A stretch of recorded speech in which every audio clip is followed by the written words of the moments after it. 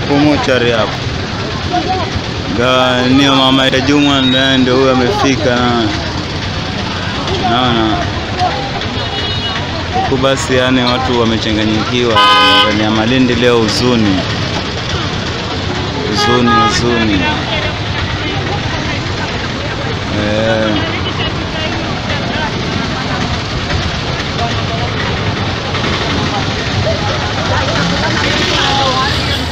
ambao wameumia kutokana na ile ajali, ambao wengi wamepelekwa mahospitali, wengine wamepelekwa, wamekimbizwa Mombasa, wengine wako Kilifi district na wengine wako hapa uh, Malindi General Hospital.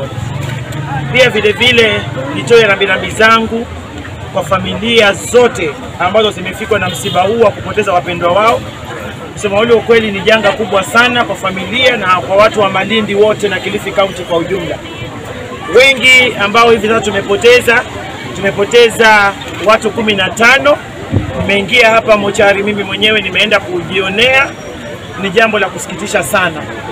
Na mimi kitu ambacho nataka niombe, nataka niombe kwanza Kilifi County Government ya kwamba ile mili yote ambayo iko hapa mochari wawe watawevu hizo mochari fees, watu wapewe nafasi, mili yao itengenezwe hapa na waje wachukue mili yao ya wapendwa nao wapendwa wao waende kupeleka kwa mazishi, wasichajiwe chochote na wasiulizwe chochote.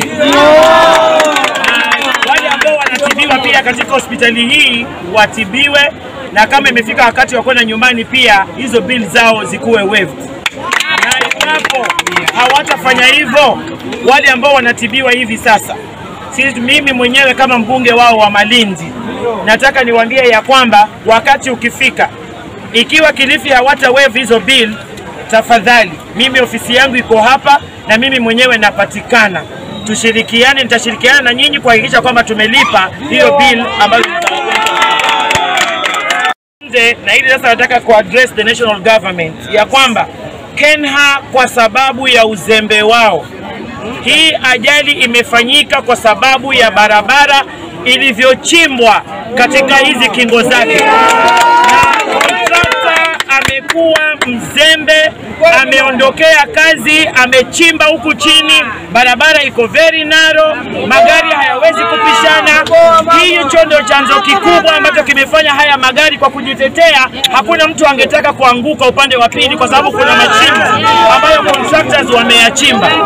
Kwa hivyo mimi nataka contractor ambaye ako katika site hii ya kutengeneza hiyo barabara to be held responsible Ndio ya hawa watu wote ambao hivi sasa wameaga dunia na wale ambao bado ni wagonjwa.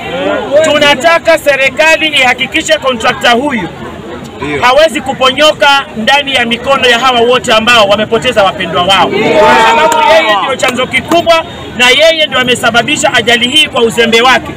Alilima, ameichimba barabara na akapotea kutoka kwa, kwa site. Kwa hivyo tunataka yeye kwanza hivi sasa akamatwe na tumuone akijibu mashtaka ya uuaji Kweli mheshimiwa. Ni jambo la kusikitisha sana. Na wengi ambao wamepoteza maisha hapa ni wafanyikazi wetu wa county government.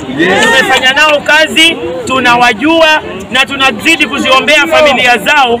Mungu awape subra na imani na awatie nguvu, na ya kwamba sisi tutashirikiana sisi wote kuhakikisha kwamba mazishi yao yamekuwa katika hali ya heshima na wamepewa heshima zao ambazo zina zinatakikana za mwisho. Kwa hayo mengi machache, nataka tuombee sote familia na Mungu azidi kuwapa nguvu.